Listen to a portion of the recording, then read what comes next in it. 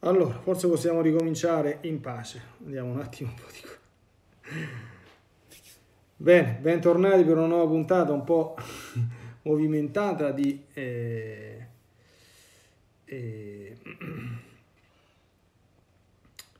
di questa appunto nuova puntata di Fondersi nella linea volontà. Vedo che ci sono dei problemi, non so che cosa ha combinato Google che non si riesce a connettere lo streaming di, di YouTube. Va bene, quindi stasera andiamo soltanto in diretta Instagram e Facebook, piccoli problemi tecnici.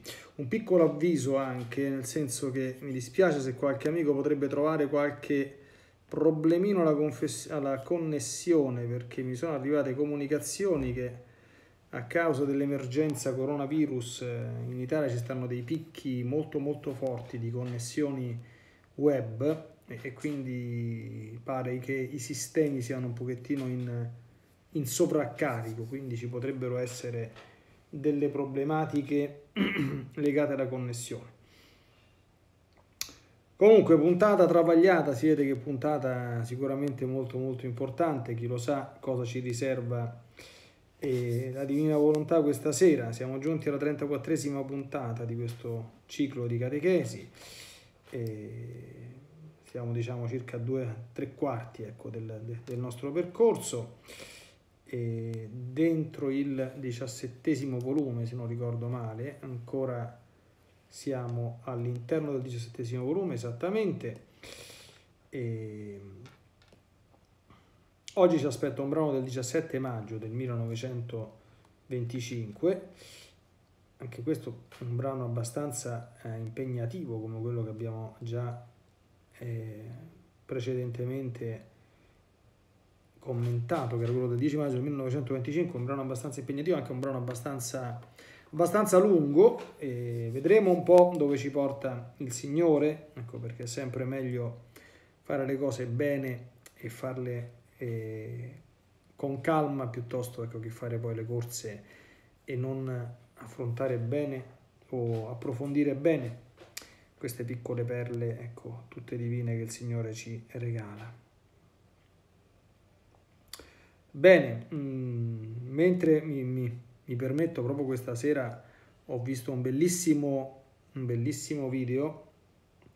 Allora, ridico per l'ennesima volta alle persone che stanno connesse, il video delle trasmissioni è alto, il problema è che bisogna avere ben connessi i ricettori, alzare il volume e se si tratta di computer o strumenti che non hanno un buon audio bisogna mettere gli auricolari, le cuffie o qualche classa Bluetooth. Perché in continuazione qualcuno durante varie trasmissioni, anche a volte durante le dirette insomma un po' più impegnative, eh, comincia la canzoncina di non si sente, ma si sente, mm, d'accordo? Perché se sentono tutti tranne che uno, è un problema che sta nel dispositivo eh, fonte. Io capisco che in questi giorni, eh, evidentemente per, per ragioni eh, ovvie, no? si accostano anche all'uso di questi strumenti magari anche persone non molto esperte. Ecco, però mh, mm, ecco, bisogna, io sto cercando sempre di eh, ricordare, insomma, quindi e le trasmissioni con questi dispositivi dipendono sempre da due fattori, la sorgente e il punto d'arrivo. Ecco, quindi problemi possono starci alla sorgente o al punto d'arrivo. Ecco, problemi audio stanno al punto d'arrivo perché gli audio dei miei dispositivi per grazia di Dio sono buoni, particolarmente quando sono molto vicini a me e parlo in viva voce senza l'ausilio di microfoni, d'accordo? Quindi ci deve essere qualcosa che non funziona al punto d'arrivo. E quindi auricolari, cuffie, casse Bluetooth esterne e controllo dei volumi che siano al massimo. È chiaro che se uno ha un computer che ha l'altoparlantino, i computer, eh, quelli, eh, quelli che girano con Windows, insomma, che ha eh, quello è chiaro che non sente niente, d'accordo? Eh, è meglio sentire queste trasmissioni per chi lo ha, prende lo smartphone, apre Facebook, si mette gli auricolari e sentirà benissimo. Bene, vediamo se riusciamo a cominciare la lettura. 17 maggio 1925. che dice così, avendo fatto sentire al confessore ciò che sta scritto qui innanzi, in data del 10 maggio, che abbiamo visto nelle due puntate precedenti, non è restato contento e mi ha imposto di riprendere a scrivere il modo di fondermi nel santo volere divino. Ed io, solo per ubbidire e per timore che il mio Gesù potesse minimamente dispiacersi, riprendo il mio dire. Quindi capiamo, no? Quindi, eh, nonostante diciamo, l'estrema articolazione e abbastanza mh, corposità dello scritto precedente, non è ancora sufficiente, quindi c'è un'ulteriore specificazione e puntualizzazione. Ora aggiungo che mentre si presenta nella mia mente quel vuoto immenso nel fondermi nel supremo volere, la piccola bambina riprende il suo giro ed elevandosi in alto vuole ricambiare il suo Dio di tutto l'amore che ebbe per tutte le creature nella creazione. Vuole onorarlo come creatore di tutte le cose.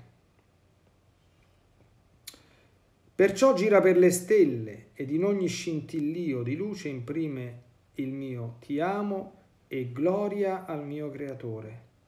In ogni atomo di luce del sole che scende nel basso, ti amo e gloria. In tutta l'estensione dei cieli, tra la distanza da un passo all'altro, il mio ti amo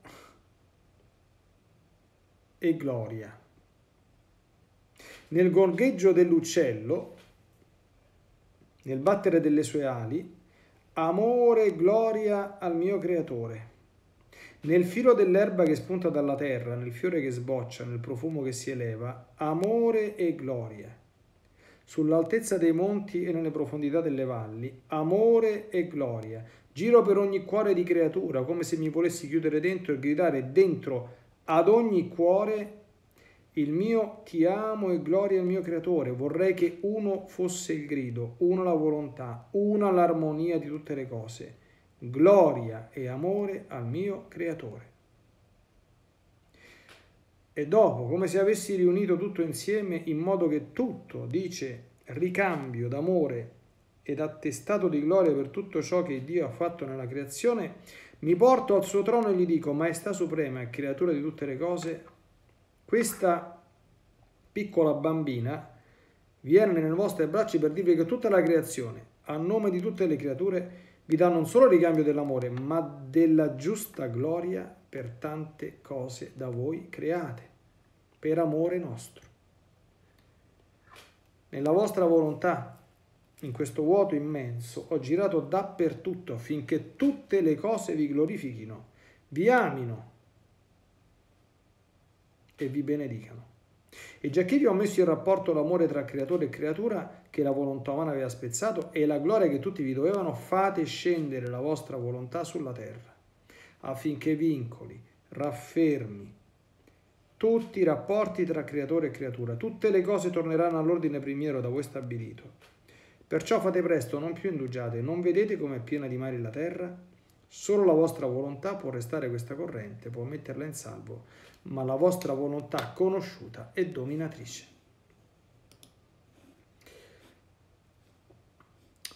Ora, veramente bellissimo questo, questo brano. Abbiamo visto due parole d'ordine, amore e gloria entrambe da noi dovute all'Altissimo. Perché all'Altissimo è dovuto il nostro amore, che non è altro che un piccolo ricambio del suo. Ma che cosa dico io al termine della preghiera eucaristica, no? Dico per Cristo, con Cristo ed in Cristo, a te Dio Padre Onnipotente, nell'unità dello Spirito Santo, ogni onore e gloria. Gloria significa Gloria significa riconoscere che Dio è il più grande di tutti. È il numero uno, d'accordo? È quello che ha fatto bene tutte le cose. È il perfettissimo. È quello che tutto si merita. Può chiedermi tutto. Merita, tutto, merita tutta la mia adorazione. Merita tutta la mia obbedienza. D'accordo? Solo Lui. Gli uomini non meritano nessuna gloria. D'accordo? Eppure il Signore, eh, se andremo in paradiso, ci glorificherà, ce la darà Lui. La gloria è tra l'altro in ragione proporzionale, proporzionata ai nostri meriti, come la Chiesa insegna. Allora, qui fa capire di nuovo un altro suo modo di fondersi che tra l'altro è abbastanza simile, oserei dire la stessa cosa, dei cosiddetti giri che si fanno nella divina volontà. Allora, qui il fine è bisogna portare a Dio tutto quell'amore e quella gloria che tutti gli dovrebbero, ma che quasi nessuno gli dà. elevandosi in alto, vuole ricambiare il suo Dio di tutto l'amore che ebbe per tutte le creature, onorarlo come creatore di tutte le cose. Allora, pensiamo no? Ad alcuni passaggi. In ogni atomo di luce che scende nel basso ci mette ti amo e gloria. Noi abbiamo idea di quanti possono essere gli atomi di luce che fuoriescono dal Sole, gli atomi, cioè l'atomo è la particella elementare della, della materia, no? Io forse, forse, forse l'Altissimo potrà contarli, gli atomi di luce, cioè capito che partono dal Sole che sta abbastanza lontanuccio, insomma, da qui fino ad arrivare fino, fino, fino al pianeta Terra, no? Quanti sono? Poi in tutta l'estensione dei cieli, forse Luisa non sapeva quello che, quello che diceva, ma l'estensione dei cieli Oggi noi, scienziatissimi, intelligentissimi, qui sappiamo che si viaggia a trilioni di anni luce, cioè sappiamo che significa trilioni di anni luce, altro che un atomo di luce, eh? c'è un trilione di anni luce, miliardi di miliardi di miliardi di anni luce, hanno luce 300.000 km al secondo, cioè si provi a vedere insomma quanti, quanti anni quant'è lo spazio di un anno luce facendo tutte quante le moltiplicazioni, quindi da 300.000 al secondo moltiplicalo un minuto, un'ora, 24 ore per 365 e poi moltiplicalo per qualche trilione di anno luce, ma gli scienziati oggi non sanno più a che santo votarsi, insomma, perché eh, prima pensavano che l'universo fosse grosso, adesso cioè, sono senza fiato, sono senza parole è se mettiamo il nostro diamo in tutta l'estensione dei cieli. Guardate, questo possiamo farlo, eh? Queste operazioni non sono operazioni, non mi stancherò mai di dirlo, poetiche, d'accordo? Fa, facciamo una bella, una bella cosa caruccia, d'accordo? Una cosa, una bella poesiola e fantastichiamo in questo modo, ma tanto queste sono fantasticherie. E no, no, no. perché si fanno queste operazioni nell'atto di fondersi col supremo volere. Quindi io faccio queste operazioni come? Unendo la mia volontà a quella divina, perché? Perché io possa ricevere la stessa capacità di quella divina che è appunto contenere e abbracciare tutte le cose, cioè quando io faccio un atto fuso con la divina volontà, se io metto un tiamon in ogni atomo di luce del sole, quel ti amo ci va veramente, non è un'operazione un ente di ragione, dicevano i filosofi antichi, un semplice pensiero che io formulo, bel pensiero, Gesù sarà contento, ma è un bel pensiero. No, è un fatto reale. Se io metto il mio ti amo in tutta l'estensione dei cieli, vuol dire che, ma che, cioè, ma che capito, cioè, non io, forse l'Altissimo conterà quanti ti amo e gloria a te ti arrivano. Cioè, che capite? Cioè, l'estensione dei cieli è immisurabile, almeno per noi comuni mortali. Capiamo, insomma, no? E poi si scende anche nel, come dire, nel più, nel più vicino, nel gorgheggio, del, nel gorgheggio dell'uccello, nel battere delle sue ali. Vediamo un po'. Altra cosa che soltanto Dio saprà. Quanti uccelli sono, ci sono stati sul pianeta Terra, quanti ce ne sono adesso e quanti ce ne saranno fino alla fine. Quanti? Tanti. E quanti battiti di ali avranno fatto? Ogni uccello. di tutta quanta la sua esistenza terrena? Tante, no? E tutti gli uccelli messi insieme, quanti altri batteri d'Italia hanno fatto? Cioè, noi capiamo che moltiplicazione immensa che possiamo far arrivare all'Altissimo. Nel filo d'erba che spunta dalla terra. Quanti fili d'erba sono spuntati sul pianeta Terra? Spuntano e spunteranno fino alla fine del mondo. Qui sempre se qualcuno sa contare, dato che sui social c'è sempre una grande smania di, di commentare, ecco, scriva io li ho contati durante le dirette, d'accordo? Oppure io ce ne ho una, una idea. Nel profumo che si eleva, da cosa? Dai fiori. Noi sappiamo, oggi siamo sempre scienziatissimi, no? I profumi sono composti da cosa? Sono composti pure quelli da, da atomi, no? Che noi li percepiamo attraverso i sensi, appunto perché sono realtà materiali, no? Così come i gusti che percepiamo, i gusti sono stimolati semplicemente dagli atomi che dipendono dalla conformazione chimica delle sostanze che noi assumiamo, quegli atomi che il nostro Signore ha creato in certe sostanze in maniera tale da poter sollecitare le nostre papille gustative e quindi farci avvertire come gradevole il fatto di mangiare. Cioè, attenzione che tutti quanti i dati, cioè, ehm, il contesto in cui stiamo vivendo adesso, ma io penso che non sia casuale, no? Che la divina volontà sia stata rivelata anche in, in, così avanti nel corso della storia. Perché io penso, e in questo senso, se mi posso permettere di, di citarlo, insomma, un, il cosiddetto libro di Tenera Amata, al di là dello spazio e del tempo, di Riccardo Perez Hernandez, che è stato tradotto in italiano dal padre Pablo Martin. Chi conosce la Divina Volontà, padre Pablo Martin non ha bisogno di presentazione per chi conosce questa, questa cosa, no?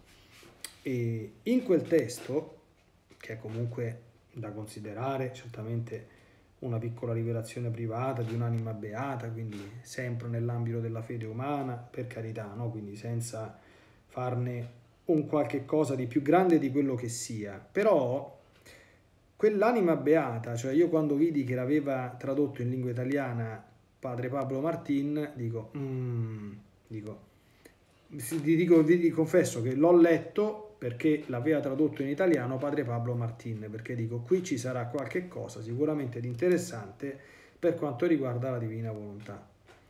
Ed in effetti c'è e come, d'accordo?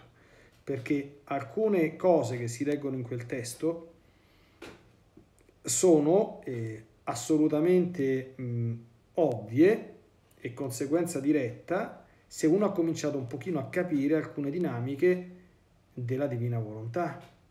Per esempio, il concetto che lì viene, viene espresso di, di eternità creata, cioè di come tutti quanti i nostri atti, una volta che sono compiuti, permangono fissi, immutati nel tempo, ma anche e soprattutto tutta quanta una serie di legami, di relazioni che quest'anima beata è imposta tra alcune cose proprio anche della gloria eh, accidentale dei beati e le cose che oggi ci dice la scienza, cioè fa riferimento agli atomi, fa riferimento alla teoria della relatività di Einstein, fa riferimento appunto alle velocità della luce con cui si muovono i beati e alle varie gradazioni di velocità della luce, alla velocità del suono, alla velocità con cui la Terra gira intorno a se stessa e gira intorno al Sole, quindi, e, mh, quindi connette tutta quanta una serie di cose che certamente duemila anni fa, se un beato andava a finire in paradiso,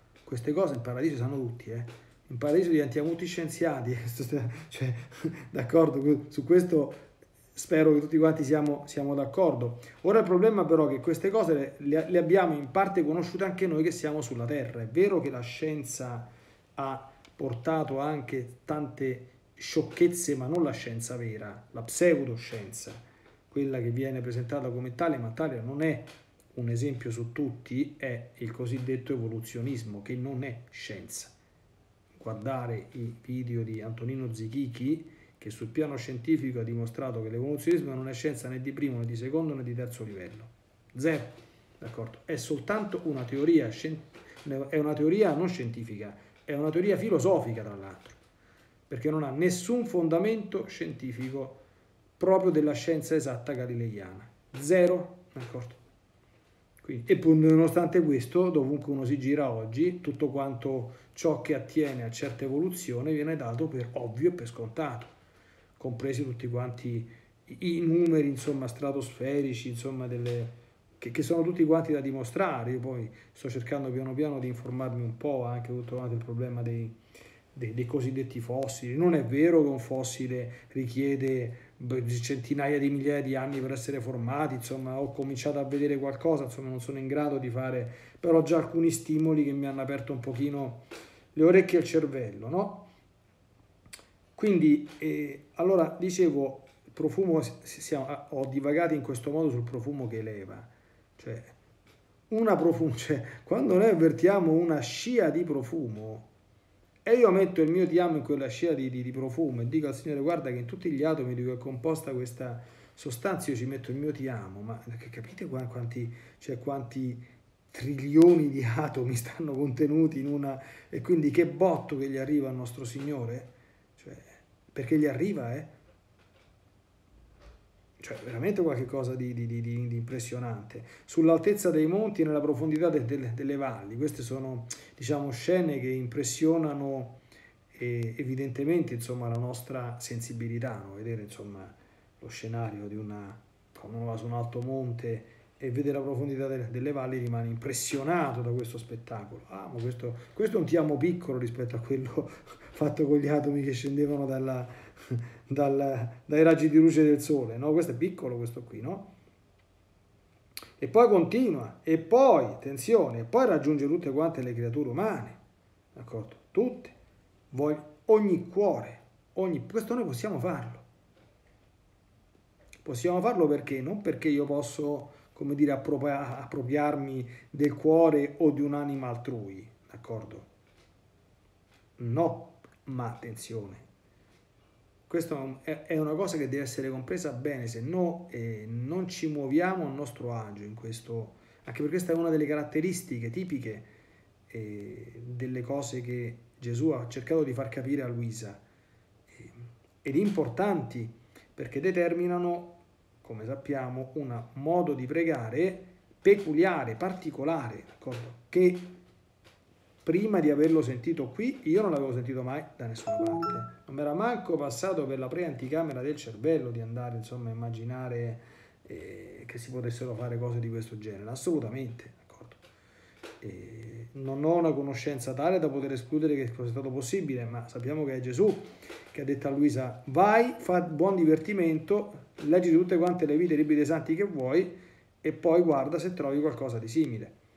Quindi io in quello che io ho letto, che certamente è limitato, mai sentito niente di, di tutta questa roba qui, no? E quindi si può andare tutti i cuori perché? Perché tutte le, allora, ogni istante di ogni vita umana, di ogni anima umana, presente, passato o futura, è presente alla divina volontà. Alla divina volontà non sfugge nulla. Quindi quando io entro nella divina volontà, io sto in quel momento dappertutto, si tratta semplicemente di, con un atto della mia volontà, di cominciare a muovermi dentro tutti quanti questi ambiti che per la potenza della divina volontà divengono disponibili a me e posso in questo modo abitarli, utilizzarli per farci cosa? Ti amo e gloria al mio creatore, ti amo e gloria al mio creatore, ti amo e gloria al mio creatore. È chiaro che se io gli dico al Signore ti metto un ti amo un gloria in ogni cuore umano, d'accordo? Allora, lui lo sente, però è chiaro che purtroppo magari bastasse questo perché non faremo altro la mattina e la sera, perché se bastasse il mio ti amo e il mio gloria nella divina volontà che raggiunge i cuori di tutti, se questo fosse sufficiente andrebbero con, con, con, con una volta solo con una un'operazione di questo genere andrebbero tutti in paradiso. Sappiamo che Gesù spiega e questo non è così. L'effetto che eh, questo atto produce è anzitutto riparare il mancato ti amo e la mancata gloria a Dio che le altre creature omettono di rendere a Lui come sarebbe dovuto, perché Dio ha dovuto tutto il nostro amore e tutta la gloria possibile e immaginabile. Amerai il Signore Dio tuo con tutto il tuo cuore, con tutta la tua anima, con tutte le tue forze, è il primo comandamento. D'accordo? E quindi ripariamo quello che non fanno e al tempo stesso, questo è sempre un altro aspetto che dobbiamo ricordare, attiriamo una grazia in quel cuore che non sappiamo quale, come, quando e se sarà accolto oppure no, comunque attiriamo una grazia particolare che a quel cuore gli farà bene. Si allontano da Dio una grazia che cercherà di provocarlo alla, alla conversione, se sta già in cammino che faccia un salto di qualità, se sta in cammino ma sta ancora invischiato in qualche peccato che lo lasci, se sta facendo un buon cammino ma non gli spuntano le ali per andare verso la perfezione, che si decida ad andare, che si zavorri da alcune cose che ancora lo trattengono, eccetera. E fatte tutte queste cose, gli dice guarda, ecco qua, la tua bambina è venuta e ti devo dire una cosa, signore mio, guarda che tutta la creazione, tutta, ti ama e ti dà anche la gloria per tutte le cose che tu hai creato. Questo è. Quindi siccome io ho fatto questo, tu adesso mi devi fare un gran regalo, fai scendere la tua volontà sulla terra affinché tutto quello di brutto che vediamo possa, essere diventare un, possa presto diventare un brutto ricordo. Ecco. Ok? Proseguiamo. Secondo step. Dopo ciò sento che il mio ufficio non è completo, perciò scendo nel basso di quel vuoto per ricambiare il mio Gesù nell'opera della redenzione. Oh, qui apriamo un'altra parentesi, parentesi importantissima, qui stiamo in Quaresima. E come se trovassi in atto tutto ciò che lui fece, voglio dargli il mio ricambio. Oh, qui c'è un passo spettacolare. Di tutti gli atti che avrebbero dovuto fare di tutte le creature nell'aspettarlo e riceverlo sulla terra. E poi, come se mi volessi trasmutare tutto in amore per Gesù, ritorno al mio ritornello e dico, oh, qui adesso c'è veramente una, uno show unico fatto da, da Luisa. Io, se mi posso permettere, consiglio vivamissimamente, non vivamente, e le anime, soprattutto per quando ricominceremo, quando Dio vorrà, a partecipare alla Santa Messa e a poter fare la comunione, io consiglio, mi permetto di dare un consiglio. E il primo consiglio è un consiglio che lo chiamiamo consiglio, ma chiamiamola raccomandazione e chiamiamola anche mh, mm, materia obbligata di riflessione in questo tempo in cui stiamo senza comunione. In questi giorni io eh, sto battendo il ferro perché è caldo. Quando si rifarà la comunione, tutti quelli che adesso stanno soffrendo, guai a loro, d'accordo? Mi permetto di utilizzare questo linguaggio, come dire, mh, mm, biblico, guai a voi, eh, questo, guai a loro se si azzardano, ricevuta la comunione, a non stare un quarto d'ora in stato di puro amore con Gesù Eucaristia. Guai a loro. Va bene? Ecco. E quando dovesse succedere che in questo quarto d'ora, che guai a chi, quando le cose si rimetteranno a posto, continua a non farlo, perché è una mancanza imperdonabile di amore e di riguardo a Gesù Eucaristia per quanto mi riguarda, dalla stragrande maggioranza dei fedeli di cui purtroppo io sono testimone, fatta sempre e senza nessun una remora di coscienza, se non ci avessi il cuore acceso d'amore, non è partita la scintilla, non è partita la fiamma, per cui non sei capace tu di dire a parole tue tutte le cose che adesso sentirai dirgli da Luisa, portati dietro queste cose che sto per leggere e digliele con calma, senza correre, facendo le tue e con tutto il cuore, perché così incomincerai a imparare quello che si deve fare soprattutto quando c'è Gesù nel cuore, non solo quando c'è Gesù nel cuore, ma soprattutto quando ce l'hai. Cioè, figlioli miei cari, è assolutamente imperdonabile, a mio avviso, eh, che si riceve il sacramento dell'amore, qui ognuno di noi deve fare l'esame di coscienza, lo deve fare. Cioè, io parlo, d'accordo, ma poi le mie parole cadono in chi ascolta queste cose, ognuno nel proprio silenzio si deve mettere davanti a Gesù e dire, senti un po', io come ti ho trattato fino ad oggi? Che, che razza di comunioni ho fatto? Punto interrogativo. Se fosse andato tutto bene, Dio ti benedica, d'accordo? Queste cose che sto dicendo non sono per te ma se è andato qualcosa male, sta cosa, sta cosa deve finire, deve. Deve finire. Deve finire. Perché una comunione presa in questo modo è meglio non prendersela, d'accordo? È meglio non fa- è meno peggio. E infatti adesso non la stiamo facendo. D'accordo? Allora, guardate che bello. Cosa dice a Gesù? Questo è un ricambio di Gesù nell'opera della redenzione, ma adesso siamo in, siamo in, siamo in Quaresima, anche quando viviamo la Santa Messa, ma lì durante la Santa Messa, figlioli miei, c'è Gesù che sta soffrendo in croce, d'accordo? In croce, sta morendo per noi.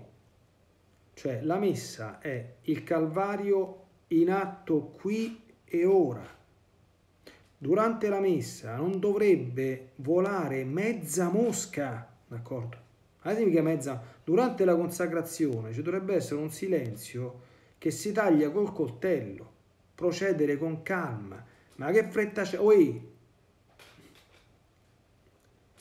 Quando andarono, cioè la messa dei Padre Pio, adesso non dico la messa dei Padre Pio, ma tutti quanti sanno che la messa dei Padre Pio durava tre ore, anche perché quello nostro Signore di Pia gli faceva colà le mani, il costato e i piedi, quindi se ti va bene questo, se no cambia messa. Ma una volta andarono da Roma a, con, col, con l'orologio e hanno visto che la messa del Padre Pio durava tre ore. Io hanno detto, dice, padre, tre ore di messa, ma la messa ci vuole mezz'ora per dirla. E ha detto, dice, come? Ma ora ci dobbiamo mettere col cronometro con l'orologio davanti al nostro Signore? Scusate, ma quanto tempo c'è stato in croce il nostro Signore Gesù Cristo? Detto fra me e voi. Quanto? Dall'ora sesta all'ora nona. E quant'è? So tre ore. So tre ore, no? Che dica la messa dei Padre Pio durasse tre ore, ma qual è il problema? Per adesso. Sto esagerando, sto no? Non devo una mosca non, non dovrebbe esistere d'accordo che io spero che chi ascolta queste cose non lo faccia, certo, un, un, un imprevisto può, può accadere, no? Ma un parroco sa nelle varie comunità parrocchiali in cui è stato che ci sono degli andazzi brutti. Arrivare a messa in ritardo è una cosa brutta, cioè, capito? se a me una persona mi cioè, ma se, se, supponiamo che a me mi desse udienza il Presidente della Repubblica, mi dice vieni alle nove, o il Vescovo, a me, mi chiama il Vescovo e mi dice vieni, ti devo parlare, devi venire alle nove e mezza. Io mi presento alle dieci meno un quarto, ma sono un cafone di prima categoria. Ma come ti permetti dal Vescovo a arrivare un quarto d'ora di ritardo? Ma che, che il Vescovo sta, sta, sta aspettando a te? Cioè, siamo d'accordo su questo, chi sta facendo le dirette insomma dice no, non è un cafone chi fa così. Cioè, se ti chiama una persona, una persona importante e tu arrivi un quarto d'ora dopo, per me, per me sei un cafone. Ma scusate, ma il nostro Signore Gesù Cristo sarà più importante del Vescovo o del Presidente della, della Repubblica? Se la messa comincia alle 11, a tu non puoi arrivare alle 11 e un quarto, a meno che, sai, sono uscito, incidente, tutti i semafori, cioè la, le cose che non dipendono dalla nostra volontà, per carità, ma se tu proprio, cioè, vabbè, ho canna ammessa, sbrighiamo, se su, eh, eh, avevo fatto 5 mesi, vabbè, fa niente. Cioè, non, non, può essere questo qui un andazzo cioè, perpetuo, generalizzato, non è possibile, non va bene. E su questo non bisogna, cioè, non bisogna aspettare la predica di, di Don Leonardo, di chi per lui che te la dice, ma possibile che uno non ci arriva a queste cose qui? Cioè, perché non ci arriviamo? Attenzione, perché non ci fermiamo a pensare un po' in sacro silenzio. Ed ecco perché mo stiamo a fare tanto sacro silenzio. Perché il silenzio è l'ambiente della riflessione. Quando uno fa gli esercizi spirituali, sta una settimana in silenzio. Perché? Perché tu devi pensare a quello che stai a combinare, devi fare una revisione di vita, ti devi mettere davanti a voglia pianti che te devi fare, se ci stanno da, da, da, da farsene. Se non ti fermi mai, tu continui a vivere come un, un pazzo, d'accordo, come uno scriteriato e non te ne accorgi. Allora, purtroppo questi giorni il mio cuore di, di, sacerdote proprio non resiste, nel senso che eh, tutto mi sembra un po' convergere parlare anche dentro questa realtà particolare che stiamo vivendo quando le cose torneranno alla normalità, perché torneranno alla normalità, tra una settimana, tra un mese, tra due mesi, tra sei mesi, ma torneranno alla normalità, eh? d'accordo? Non credo insomma che, che, che, che, si, che se ne possa dubitare, ma noi torne, usciremo cambiati da questo pure no, migliorati da questo pure no, perché per questo il Signore sta permettendo queste cose, sicuramente, sicuramente. Oltre che per tante altre buone motivazioni, eh, d'accordo? Ecco, tra cui insomma dare anche un po' una regolata all'uomo che con questa globalizzazione si crede insomma che mm, è il padrone dell'universo, eh, però basta un virus a far saltare per aria tutto il sistema mondiale, d'accordo? Quindi insomma è anche questa una considerazione su cui riflettere, no? Allora, sentite che parole qui che usa Luisa. Ripeto, uno le copia oppure fa lo screenshot se c'è il libro digitale, d'accordo? Oppure va a ritrovare il brano, se inventa qualcosa, d'accordo? L'importante è che uno ce l'abbia dietro, perché se dopo che, che, che hai fatto la comunione, che non scappi via appena il prete dà la benedizione, prima del canto finale, come se stessi seduto sulla graticola, d'accordo? ancora con le specie non consumate dentro di te, come fanno in molti, d'accordo? In molti, anzi in moltissimi, anzi per quanto riguarda la mia esperienza in quasi tutti, e chi non lo fa, io sono stato adesso qui a poco questo qui, sono sotto tre anni e mezzo questo qui, la parrocchia che, che ho lasciato sono stato dieci anni, quindi dopo dieci anni tu vedevi dopo la messa che almeno una decina, una quindicina di persone si fermavano, so poche, ma gli avevo fatto una testa così per dieci anni, da testa così, sono vive, eh, possono testimoniare, se qualcuno si, se dice, ve lo dico io, d'accordo? Eh, quindi dai oggi, dai domani, alla fine, insomma, no? Ecco, allora, parole di Pisa. Come se mi volessi trasmutare tutta in amore per Gesù, ritorno al mio ritornello e gli dico, Guardate, questo probabilmente se l'ha inventato lei. Allora, un, dovrà arrivare un giorno, vi prego di ascoltarmi bene, che tu ti inventi il tuo. Una composizione del genere gliela fai tu a Gesù. Tu, a parole tue. Ti inventi qualche altra cosa. E ti verrà da inventarti qualche altra cosa se cominci a sintonizzarti su altre frequenze se butti quel, quel benedetto, eh, eh, chiamiamolo benedetto per non dire un'altra cosa, orologio. Possibile che abbiamo sempre l'orologio quando stiamo con il nostro Signore, con Domini Dio? Butta quell'orologio, buttalo. Succede niente se ti fermi dieci minuti in più con Lui. Insomma, non succede assolutamente, anzi è tutto di guadagnato. Ti amo nell'atto che fosti concepito. Ti amo nella prima goccia di sangue che si formò nella tua umanità. Ti amo nel primo palpito del tuo cuore. Chi non ha mai sentito queste parole, Pensi adesso, ho mai detto, mi è mai venuto in mente di Gesù una cosa del genere? Gliel'ho detta? Se gliel'hai detto, Dio ti benedica. Hai tutta la mia ammirazione, tutta la mia stima, tutto il mio rispetto e anche di più. Ti amo nell'atto di scendere dal cielo. Dice, imprimo il mio ti amo nell'atto che fosti concepito, nella prima goccia di sangue che si formò nella tua umanità. Guardate proprio, cioè, voi capite, no? Una mente e un cuore che si applicano, quindi che vanno a cercare queste cose peculiari, quasi che volessero sorprenderlo a Gesù, no? E sicuramente Gesù ci ha avuto una, come dire, un coccolone, dico, dicono, cioè una, una reazione. Ma guarda queste belle cose che mi dice, che, che me le dovrebbero tutti, ma mi ha nessuno. Secondo me ce l'ha avuta. Io non mi sbaglierò, quando me la dell'anno, sto signore mi, mi tirerà... Eh, eh, le orecchie, insomma, se sto dicendo delle, delle, delle stupidaggini. Ti amo nel primo palpito del, del, tuo cuore, attenzione per segnare tutti i tuoi palpiti col mio ti amo. Ci abbiamo mai pensato quanti palpiti avrà fatto il cuore di Gesù dal primo battito fino all'ultimo quando è morto di crepacuore sulla croce? Perché Gesù, attenzione che è morto di crepacuore, eh? Questo lo, lo dimostrano gli studi sindonici, Gesù non è morto soffocato in croce. Gesù in croce gli si è spaccato a un certo punto il cuore e lo dimostra il siero e l'acqua usciti dalla, dalla, dalla trafittura del costato. Io anni di oggi ho fatto tantissimi incontri prima di Pasqua sulla, sulla sindone, eh? cioè il, la, la, causa della morte di Gesù è, si chiama in medicina infarto per fissurazione. Il cuore si è proprio spaccato e ha provocato quel deposito appunto di acqua e di siero che poi è fuoriuscito dalla lanciata del centurione romano.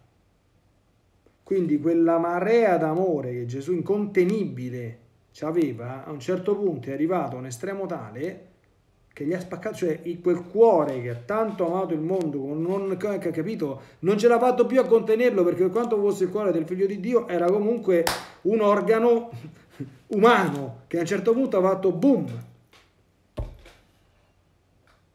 Capito? E prima che facesse quel boom, quanti palpiti ha fatto? Noi abbiamo circa 60-70 battiti al minuto. Andiamo a vedere.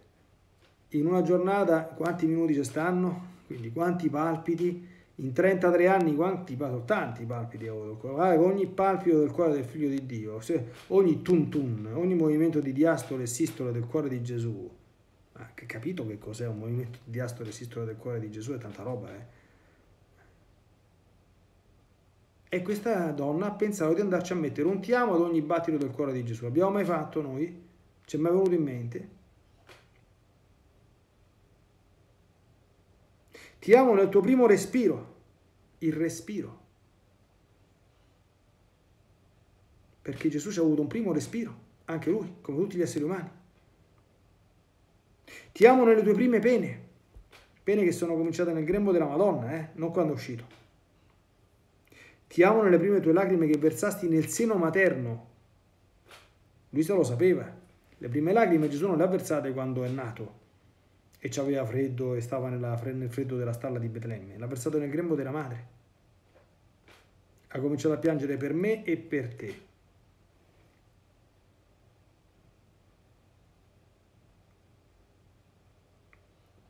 Voglio ricambiare le tue preghiere, le tue riparazioni, le tue offerte col mio ti amo.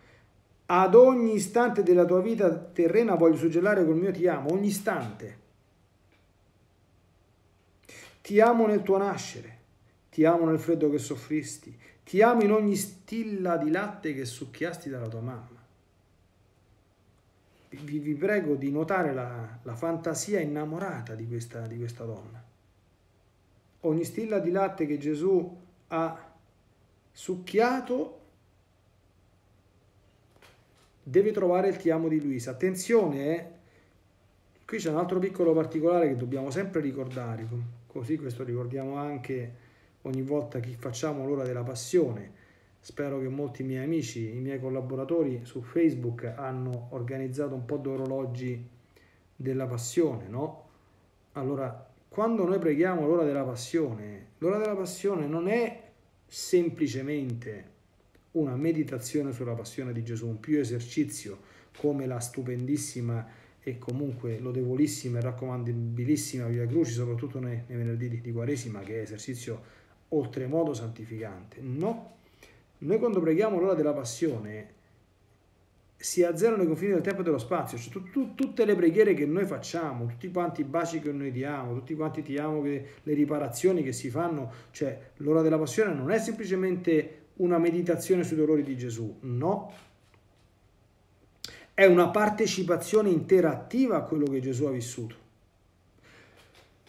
Tu la fai oggi, nel 2020, ma attenzione, quello che tu fai oggi, nel 2020, Gesù l'ha sentito nell'anno 29 o 28 o 30, quando, quando è stato, che quelle cose le ha vissute. E ogni volta che tu la rifai è un farglielo sentire di nuovo. Questi sono misteri, questi qua sono, sono misteri perché ci andiamo a, a immettere, a proiettare in un mondo che non è il nostro, è quello divino.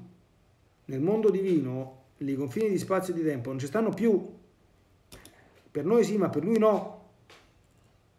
Allora, sapete cosa significa andare a dire a Gesù eh, ti amo in tutte le stille di latte che succhiasti dal seno della tua mamma? Significa che Gesù, mentre mi veniva allattato al seno di Maria, ha sentito i ti amo che Luisa nel tempo gli avrebbe formulato 2000 anni dopo, 1900 anni dopo. Non sono favole questi, non sono, non, non sono anche qui pie, pie, pensieri o modi di dire, è così è. Poi il paradiso lo, lo vedremo, cioè, chi, chi ci arriverà, eh, se il nostro Signore dirà ti ricordi quelle cose, che, ma questo non, è che, non è che sto dicendo io come cose mie, sono cose che ho capito e alla luce di quello che ho imparato da questi scritti, certamente anche sulla base delle cognizioni teologiche che ho e che mi hanno aiutato, diciamo così, a capire bene certe cose. Intendo riempire con i miei ti amo le fasce con cui la tua mamma ti fasciò Stendo il mio ti amo sopra quella terra in cui la tua cara madre ti adagiò nella mangiatoia e le tue tenerissime membra sentirono la durezza del fieno, ma più che del fieno la durezza dei cuori. Il mio ti amo in ogni tuo vagito. Chi di noi gli è mai voluto di mettere in testa di, di mettere un ti amo in ogni vagito fatto dal, dall'infante Gesù? Faccio scorrere il mio ti amo in tutte le tue lacrime e pene della tua infanzia, in tutti i rapporti, comunicazioni, amore che avesti con la tua mamma. Chi di noi? Ti amo in tutte le parole che dicesti. Quante parole ha detto il figlio di Dio? Neanche una inutile, d'accordo? Ma mm, ne ha dette, d'accordo? nel cibo che prendesti. Vogliamo che nel cibo che Gesù ha mangiato ci sia il nostro ti amo, qualunque cosa abbia assunto. Adesso lasciamo perdere questi 40 giorni che stiamo celebrando a fatto digiuno assoluto, no? Però, ecco, ma mangiavoli ordinariamente. Nei passi che facesti. Vogliamo che in ogni passo che Gesù fa senta il mio ti amo? Nell'acqua che bevesti, Gesù beveva. Abbiamo sentito, non so se proprio in sede di questo ciclo di catechesi o in una meditazione recente, che ogni volta che tu ti bevi un bicchiere d'acqua c'hai una marea di ti amo divini che ti entrano dentro che sono portati in tutto il corpo, perché dentro ogni creatura creata da Dio per noi c'è il suo ti amo, ci manca il nostro, ma il suo c'è sempre, anche quando non è da noi riconosciuto. Ci vogliamo mettere a fianco al ti amo del Padre anche il nostro sull'acqua che ha bevuto Gesù o no? Ti amo nel lavoro che facesti con le tue mani. Ti amo in tutti gli atti che facesti nella tua vita nascosta. Suggello il mio ti amo in ogni tuo atto interno e pene che soffristi. Sentite. Stendo il mio ti amo su quelle vie che percorresti, nell'aria che respirasti. Anche qui, uff a ogni ispirazione che noi facciamo, sapete quanti atomi di roba ci sono entrati dentro, tra idrogeno, ossigeno e tutto il resto delle componenti dell'atmosfera. Quanta aria ha respirato Gesù quando è stato sul pianeta Terra? Da quando è nato fino a quando è morto? Tanta, no? Quanti trilioni di trilioni di trilioni di trilioni di trilioni eh, di, di, atomi di idrogeno e di ossigeno ha, ispirato? Quanti? Vedete questo che, che bello, questa è un'altra fusione d'amore girante, stavolta nella persona di Gesù nelle opere compiute da lui per la nostra redenzione, no? In tutte le prediche che facesti nella tua vita pubblica, il mio ti amo scorre nella potenza dei miracoli che facesti, dei sacramenti che istituisti, in tutto, mio Gesù, anche le, nelle fibre più intime del tuo cuore, imprimo il mio ti amo per me e per tutti. Per me sempre e per tutti. Il tuo volere mi fa tutto presente ed io, attenzione a questa frase, il tuo volere mi fa tutto presente. Ed io nulla voglio lasciarti in cui non ci sia impresso il mio ti amo. La tua piccola figlia del tuo volere sente il dovere che se altro non sa farti, almeno abbia un mio piccolo ti amo per tutto ciò che hai fatto per me e per tutti.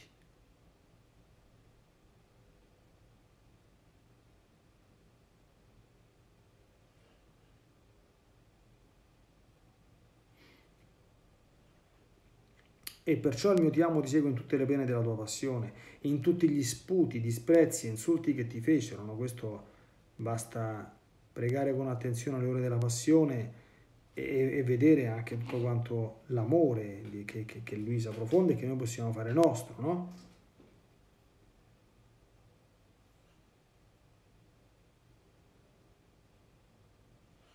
Il mio ti amo suggera ogni goccia del tuo sangue che versasti, ogni colpo che ricevesti ogni piaga che si formò nel tuo corpo, ogni spina che trafisse la tua testa, nei dolori acerbi della crocifissione, nelle parole che pronunziasti sulla croce, fin nell'ultimo tuo respiro intendo imprimere il mio ti amo, voglio chiudere tutta la tua vita, tutti i tuoi atti col mio ti amo, dovunque voglio che tu tocchi,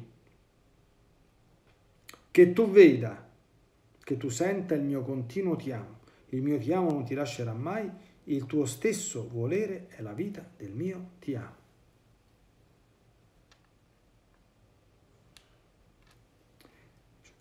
Noi comprendiamo insomma che, che roba, no?